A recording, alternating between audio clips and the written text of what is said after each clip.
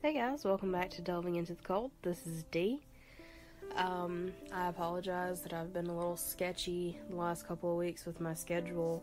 I've got a lot going on. We're in the process, like I said, of moving. Um, I recently hurt my wrist, so it's kind of put a damper on a lot of things, and we're just we're trying. But I do want to say thank you because I've been keeping track of the listener numbers and the reception, and I really appreciate you guys, and I appreciate your patience, and I appreciate you listening. So, with that being said, let's just get into today's case, which is the case of Maura Murray. Maura was born on May the 4th, 1982, to Frederick and Laura Murray. She was the fourth of five children. She had two sisters, Kathleen and Julie, and two brothers, Kurt and Fred Jr. She was a junior year nursing student at the University of Massachusetts Amherst. And on February the 9th, 2004, at 21 years old, something terrible happened on Route 112 in Woodsville, New, New Hampshire. And we don't know what, we don't know who was involved. All we know is that Maura has not been seen since. And this is a pretty popular case. There are entire podcast series dedicated to this case. Um, I'm going to get as in depth as I possibly can in this episode, but obviously there are going to be things that I miss, so I apologize. Um, we're going to talk about her disappearance, what happened before her disappearance, theories, things like that, as usual. Alright, so on February the 9th, she emailed her professors and boss telling them that she was taking a week off due to a family death. This was not true. There was no family death, there was no family emergency. We don't know why she said this, but unfortunately she did. Um, at about 7:30 that night, a woman reported a car wreck on Route 112.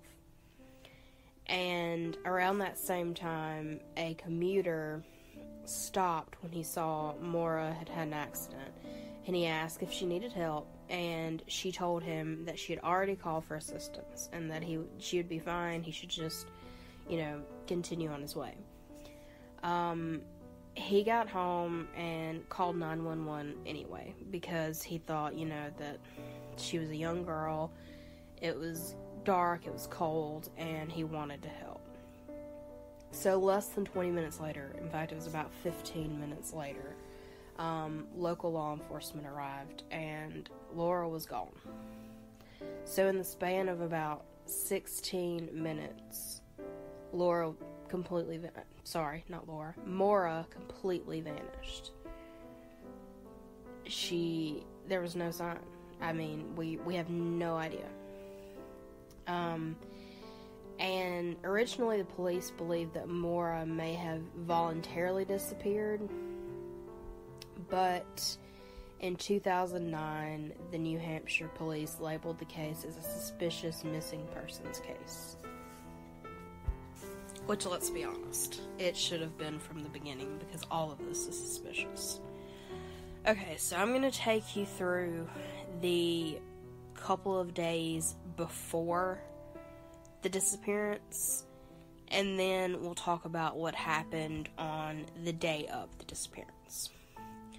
So, about four days before um, disappeared on February the 5th, she um, talked to Kathleen while Maura was working as a campus security guard. Um, she got off the phone at about 10:30 and she just had a complete meltdown at work. And, you know, she just was sobbing and inconsolable. Um, and her supervisor came to check in on her and she was just completely zoned out. She was just kind of in her own world. So the supervisor escorted her back to her room around 1:20 a.m. and Maura explained her behavior by saying, and I quote, "my sister."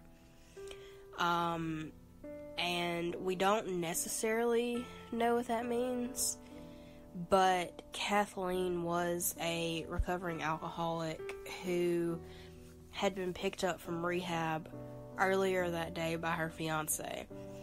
And her fiance immediately drove to the liquor store, and of course, this upset Kathleen tremendously, as it would anyone that was struggling with any type of addiction, and it was literally being shoved in her face immediately after being out of rehab. Um, and that's all that Maura said was, you know, that something was wrong with her sister, so we don't really know. Um, two days after this, on February the 7th, Fred Sr. came to visit, and he was going to take Maura uh, car shopping for a new car. Um, they went to dinner that night, and then Maura dropped her father off at the hotel and drove off in his new Toyota Corolla. She was going to a party and asked if she could use his car. He obliged. She said, You know, I'm just going to be at the hotel asleep. It's fine, take it. So she took his car and dropped him off, and around 3:30 a.m. on February the 8th, she struck a guardrail in her father's car. Uh, when the police got there, she explained, you know, that it was her father's car, and they gave her a lift to Fred's hotel room. Fred, you know, was um, upset that his car was messed up, but he wasn't angry with Maura. Accidents happen, and you know, he told her that it would everything could be worked out, it'd be fine. He was just happy that she was, you know, safe.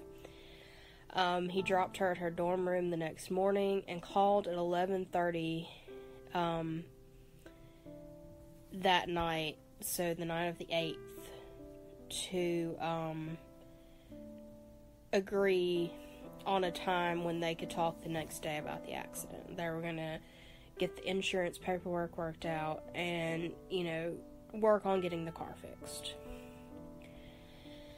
Um, so about 30 35 minutes after getting off the phone with her father on February the 8th, so that would make it a little after midnight. So early morning, February the 9th, Maura looked up ma- uh, maps for the Berkshires and Burlington, Vermont. Um, so she was on MapQuest. She was printing out, or well, I assume it was MapQuest. It was the early 2000s. So it's the only thing that comes to mind. Um, anyway, she was looking maps for these two particular locations, and uh, I believe her family had spent time there before so she was kind of familiar with, you know, the area. She wanted to return there. Um, so now this is the day of her disappearance. At around 1 p.m. on February the 9th, she emailed her boyfriend indicating that she didn't feel like talking to anyone. And uh, just for reference, her and her boyfriend had a long distance relationship, but they seemed to be, you know, pretty steady and they talked a lot and they kept in touch and they seemed to really care about each other. So it was odd that she didn't feel like talking. Um, and then as soon as she emailed her boyfriend, she called a condo company in Bartlett, New Hampshire, inquiring about renting a condo. And then around 1:13 p.m., she called another nursing student. Um, we don't know what was said. We just know that it was a brief conversation with another student. At 1:24, that's when she sent out her uh, emails to her boss and professors, explaining that there had been a family death and she wouldn't be available for a week. Um, and then at 2:05 p.m., she called looking for hotels in Stowe, Vermont. Um, so we've got a lot of locations where she's inquired about staying or visiting. Um, shortly after looking for hotels at 2:18 p.m., she calls her boyfriend and she leaves a voicemail saying she talked to him later. Then Maura packed her car with clothes, toiletries, textbooks, and her birth control and she packed all of her room's contents into boxes and she left her campus around 3:30 p.m. At 3:40 she withdrew $280 from her um, bank account and purchased $40 of alcohol. She went by the police station and picked up the accident forms so that they could get those filled out for the car and she left Amherst around 3:50. At 4:37, she checked her voicemail.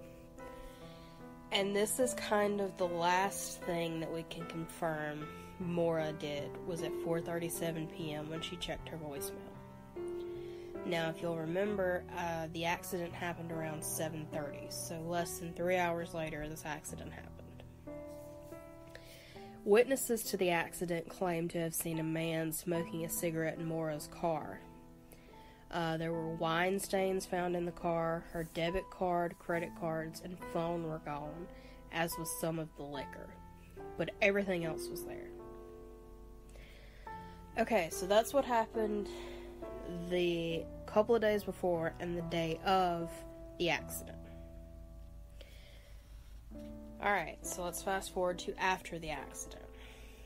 From uh, around 8 to 8.30, a, uh, a witness saw a young person on foot four to five miles away from the scene. Um, and if I remember right, Maura was very athletic. I think she had run track and things like that. So, I mean, I guess that's possible. Uh, I don't know how likely it is, but I, I suppose it's possible. Um, and at the scene, a rag was discovered in the muffler of her car. And Fred explains this as he told her if she were ever in a snowstorm or anything, if she would put that in her muffler, that uh, snow would not get inside her car. I don't know how true that is, uh, but that's how he explained that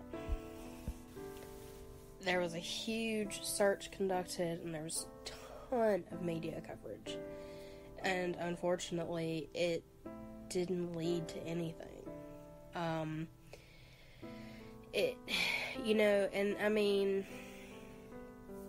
the theories here are obvious, you know, that she was abducted or that she ran away.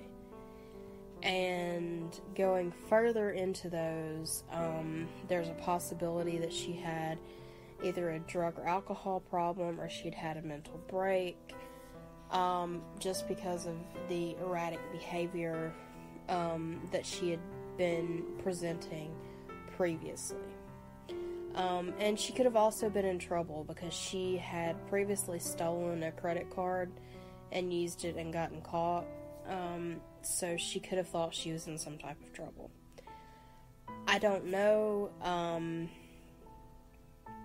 my conclusion on this one is iffy because while there is a lot of evidence that she was having mental and emotional distress, there's also a lot of evidence that points to me that there was foul play, that someone could have come by and taken her, or someone that could have been with her took her somewhere. Um, but like I said, there was a large search conducted, and they never found her body. They never found uh, signs of a struggle. So I don't know. I don't, I don't have answers for this one. I don't even really have a speculation at this point. Um, let me know what you think. The links, as always, will be beneath the podcast and the video when I get the video up. Sorry about that. It's been a hectic time around here. Um, so yeah, that's all I've got for you guys this week. And this case, to me, the first time I heard it, blew my mind because I was like, this is a fairly recent case as far as, you know, unsolved mysteries goes. Um, this happened in 2004, so 15 years ago. And we aren't any closer to solving the case now than we were 15 years ago. And that just blows my mind. Uh, so that's my two cents about the case. Uh, so, yeah, let me know what you think.